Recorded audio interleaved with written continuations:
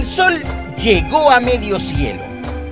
Nuestros abuelos dirían, ya es el mediodía. Y correcto, son las 12.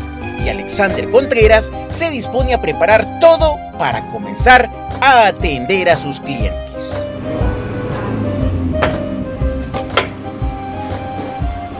Su entorno luce rodeado de varas de bambú partidas por la mitad, trozos de madera barnizados, unas ventanas de lámina y lo principal, un horno que funciona con fuego de leña. En otras palabras, es lo que Alex considera el regalo que Dios le ha dado para salir adelante, y en serio que lo es. Hablamos en sí de una pizzería que en cuestión de 12 meses ha logrado una aceptación tremenda gracias a los sacrificios, a la dedicación de este joven de 24 años de edad. Surgió al quedarme sin, sin empleo, pues y tener que pagar deudas. Eh, tengo una esposa y una bebé y también surge por eso, tener que generar ingresos para lo que es el hogar. Entonces nosotros al empezar no empezamos con la pizza, sino que empezamos vendiendo frutas, pasteles típicos por decirlo así, y frutas. Eh, pero eso no era tan rentable, digamos, no generaba unos ingresos muy buenos, por decirlo así.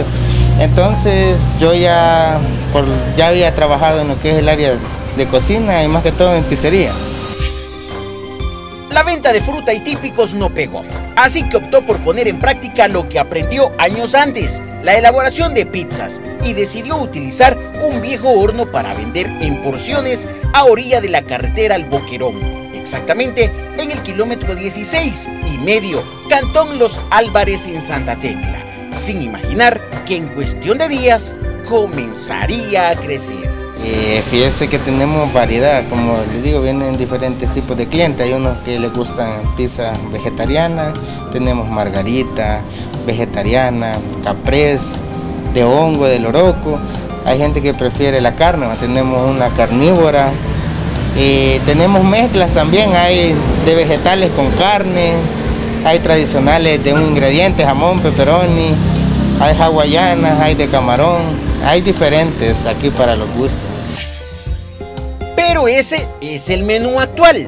Hace dos meses, en plena pandemia del COVID-19, su meta fue elaborar pizzas para llevar solo de jamón y pepperoni. Pero como le fue muy bien, comenzó a ahorrar Recuerda que lo primero que hizo fue cambiar el horno por uno mejor, pero siempre de función a fuego de leña, y así comenzó a levantar lo que llamó el changarrito.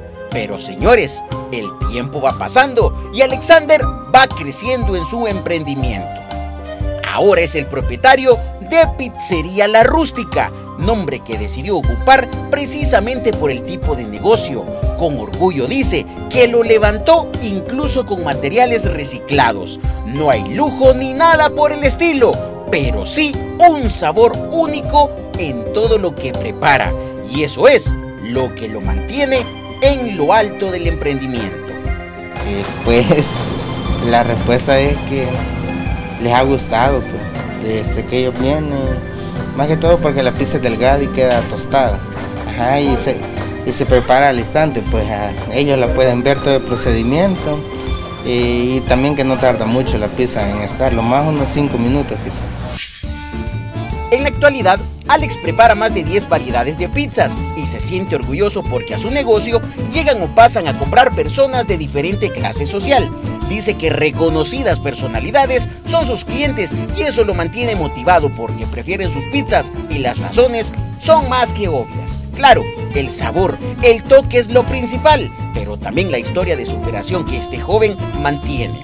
La pandemia, como ya nos dijo, lo dejó literalmente en la calle, con varias deudas, responsabilidades, pero aún así, en ningún momento bajó la guardia. Se rebuscó y rebuscó hasta encontrar cómo ganarse la vida honradamente y mírenlo ahora.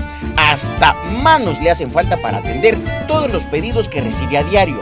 Por eso Alex también se está convirtiendo en un generador de empleo para jóvenes de esta montañosa zona. Hoy en día, en su negocio, hay espacios para cinco mesas y asegura que no le alcanzan los fines de semana. Disfrutar las pizzas que elabora Alex para algunas personas es algo que vale la pena y lo que dice es que siempre le expresan que son deliciosas por el tipo de masa y tipo de ingredientes que utiliza.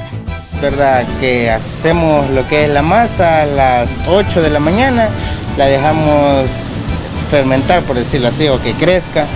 Eh, salimos a las 12 del mediodía. Ya al mediodía que nosotros venimos, la boleamos. Eh, la boleamos, le echamos aceite, harina para que no se reseque. Eh, cada, cada masita que ustedes vieron es una pizza. Y luego de eso estiramos cada masita y se forma lo que es la focacha, que es la plantilla de la pizza, por decirlo así. Las prehorneamos porque quedan un poco más tostadas y también porque tenemos muchos clientes que son para llevar, muchos pedidos que son para llevar y así nos tardamos menos en lo que es la preparación. Alex nos contó también que hay personas que suben a la zona del Boquerón en plan de turismo los fines de semana y a la hora de comer llegan donde él. Poco a poco ha leído, visto tutoriales y escuchado consejos de otras personas para nunca bajar la calidad de sus productos. Saben, aparte de las pizzas, también ofrece pan con ajo y nombre. Lo mejor que he probado desde hace muchos años. Todo lo prepara en el momento para ofrecer las pizzas bien calientitas y sobre todo tostaditas. Pues la verdad es que primera vez que pasamos por acá y estamos con la curiosidad, pues. Y como dice, el olor lo atrae a uno, va. Y nos quitamos la curiosidad y la verdad que quedamos encantados. Pizza delicadita, sabroso los, los ingredientes y dan ganas de volver otra vez. Este día tenía varias órdenes que sacar para personas que pasarían por sus pizzas. Vimos el trabajo del joven y nos gustó. Lo que más nos gustó fue que nunca desaparecen sus ánimos. Un feeling tremendo cuando está preparando los platillos. Dice que le gusta hacer pizzas de especialidades porque lo ve como un reto, porque la idea es enamorar con sabores a sus clientes. Ya de ahí están las de especialidad, que se preparó una rústica, que es como la más pedida. Eh, esa lleva jamón, peperoni, hongo, loroco aceitunas negras. Esa sí se tarda unos 5 a 6 minutos porque lleva vegetales y tienen que ir un poco más cocido. De ahí también preparamos una margarita que era de tomate, albahaca y un poco de aceite de oliva. Y una de quesos. Miren qué bonitas las pizzas que Alex vende. Y si hablamos de sabor, ah, no, me extendería porque es una experiencia cosa seria. ¡Qué pizzas más ricas! Por eso ahora comprendo cuando me habían dicho, calle al Boquerón hay un muchacho que vende las mejores pizzas de la zona. ¿Quiere ir? Pilas entonces con la ubicación. Vaya, estamos en el kilómetro 16 y medio, carretera al Boquerón. Estamos en, en plena calle, por decirlo así, no se pierden. Estamos en Cantón Álvarez, hay rótulos en la pizzería, que es bien visible también. Eh, trabajamos de, mar, de jueves a martes. El miércoles se descansa y estamos de 12 del mediodía a 7 y media de la noche. El teléfono es el 7880-1320. Ahí nos pueden hacer los pedidos, solo para pasar a recoger porque por el momento no tenemos delivery, por decirlo así un emprendimiento que merece el apoyo de todos, un joven que está saliendo adelante precisamente porque muchos han creído en él. Se le notan sus deseos de triunfar y lo mejor de todo es que trabaja incansablemente para lograrlo en este negocio que con esfuerzos logró levantar.